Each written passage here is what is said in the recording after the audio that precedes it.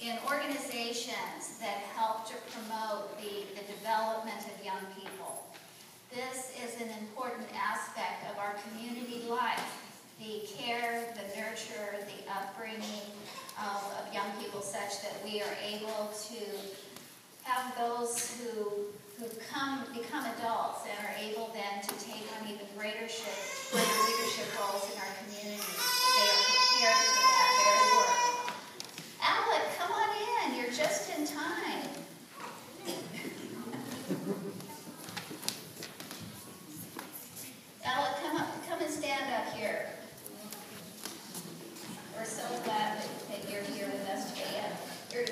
with.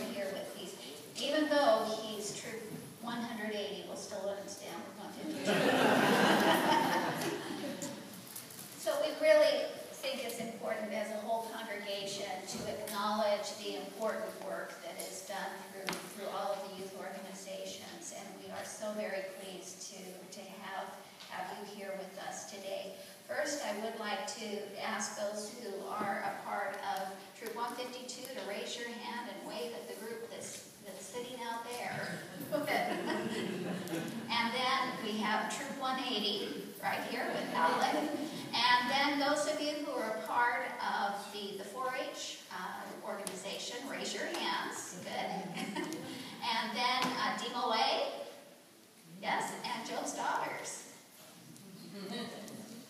So we, we are so pleased to, to have these folks here as guests with our worship today.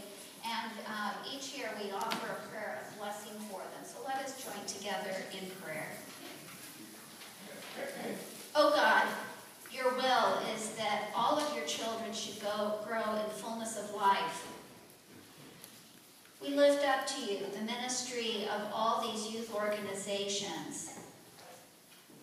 We offer you thanks for the activities that help our young people to grow.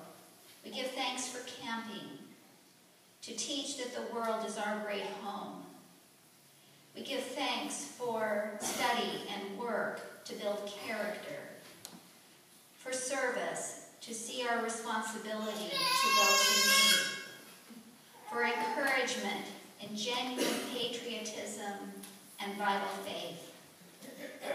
Bless the work of scouting, all the youth organizations in this place, in this community, in the surrounding communities, and in the world that through its efforts, the young may, like our Lord, increase in wisdom and stature and in favor with you and all people. Amen.